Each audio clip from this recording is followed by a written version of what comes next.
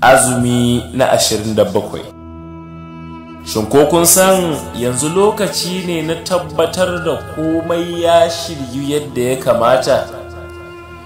Mu waiwaya daga farkon wannan wata duk wani abun da ba mu ƙarasa ba mu ƙarasa shi. Mu kuma ƙara dagewa da ayyuka. Ƙila naka ko na kiraban a ƙarshen yake.